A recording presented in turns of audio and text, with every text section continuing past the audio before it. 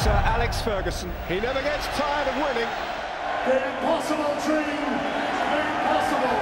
The maestro, the manager supreme. The greatest British manager ever. History maker.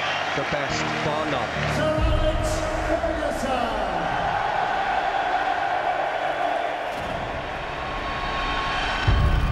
My main drive and my main intention was to win the league. So that was my challenge. There's no question about that.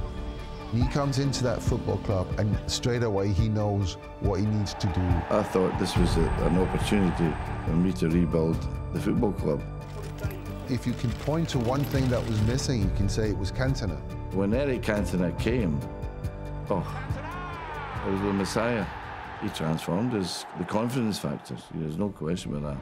Yes, yes, yes for Manchester United.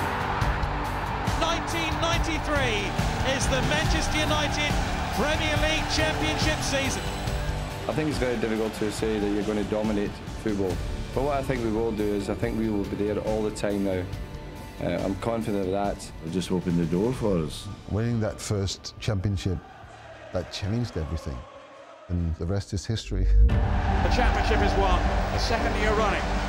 And no one is happier, of course, than Alex Ferguson. For the third time in four years, champions of the Premier League. Champagne time at Old Trafford.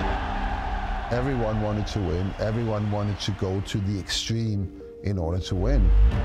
The 99 era was very special, uh, amazing football team.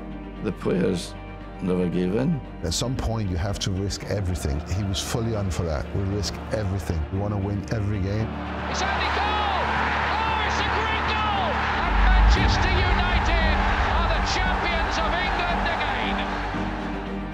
Treble team was, was special to me.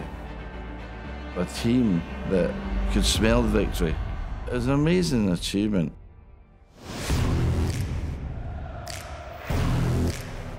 It vanishes qu- quite quickly for me, winning. To come back the year after stronger, more determined to win was, was always what it was about. We didn't win every week title, but we tried to win every week. Alex was like an animal, man. It was just like constantly winning, consistency, his appetite for the game, his appetite for build, rebuilding teams. And this guy's just relentless. Year after year after year after year. I could lose my temper if I lose a game. You know why? They forgot the expectation. They forgot the very thing we work every day for. When they, they didn't reach that expectation, yeah, they got it. He was ruthless. And I think he needed to be that. He built a reputation of being really hard and direct and a desire to win. The Manchester United team that has written their name in the history books. You feel that immediately. You- You've come to Man United, great, you're here to win. That's it. No more, no less. You're challenged for the league every year. It's your job. Putting that jersey on as a Man United player, that expectation is to win.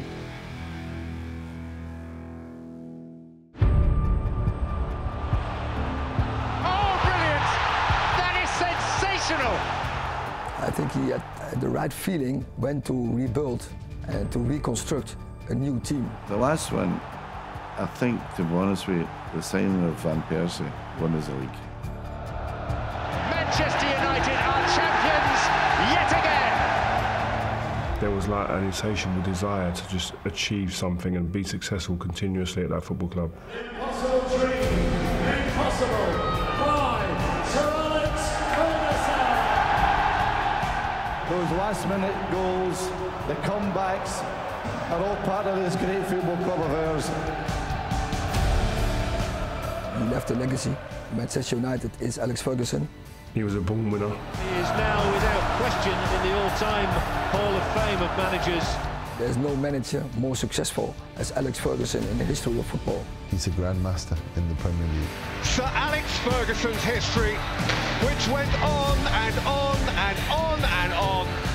Until anybody gets close or goes past him, he'll, he'll be the greatest manager that the Premier League's ever seen. It's been an unbelievable experience for all of us. So thank you for that.